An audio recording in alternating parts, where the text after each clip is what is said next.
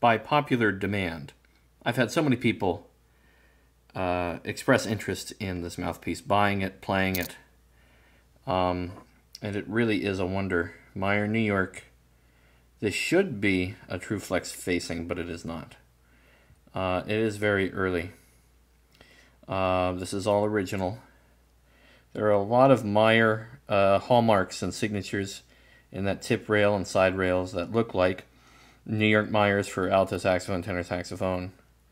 Um, uh, the ligature slides on there, uh, kind of like a modern Theo Uh, and the ligature itself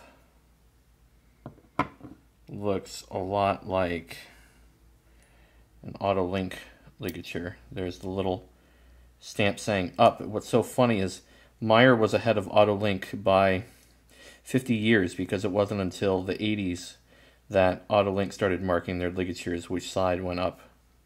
Meyer uh, Meyer was ahead of them, and um, there's the ligature.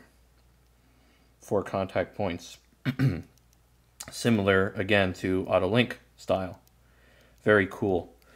But what's really interesting about this mouthpiece, other than how well it plays with a very thin reed, and the fact that I can get amazing control over altissimo with a Rico two and a half when I generally play like a V12 three and a half or four, um, is the fact that there's no throat shape. It's all just round.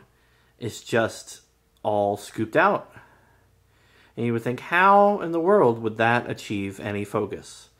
and a lot of it is just from the baffle. It's not a step baffle or anything. It's just a, it's just higher, and this is what's amazing. Um, my favorite classical alto sound was uh, Vincent J. Abato, and he uh, played on a Meyer Bros. Tru-Flex, New York Meyer Bros. Tru-Flex 3M.